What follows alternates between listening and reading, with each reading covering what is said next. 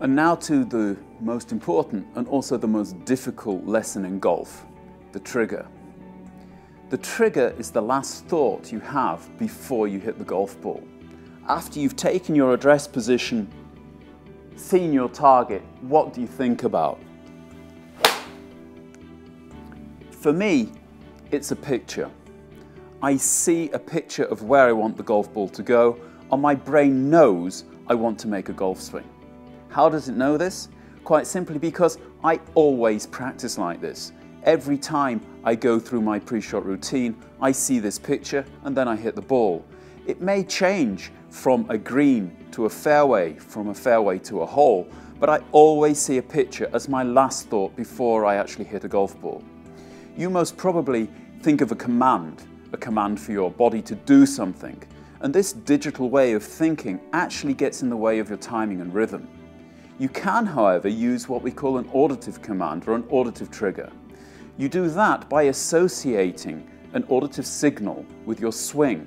You can do that simply by using our sound files. Ready, when our set. sound files are playing in the background, your brain is associating them with the shot. So when you hear the set command, Set. you are in the address position. Your brain knows where you want to be. When you hear the first beat, you are at the top of your swing. So your brain associates this beat with a particular movement.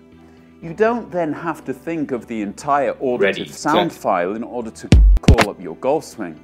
On the contrary, if you just take a part of that, if you go through your routine, address the ball, and say set, set, your brain knows after set comes hit.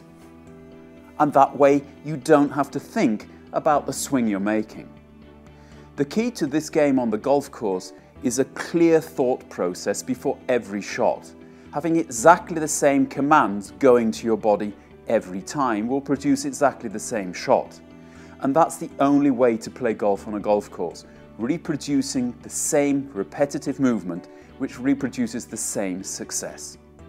Take this on the golf course, it really works.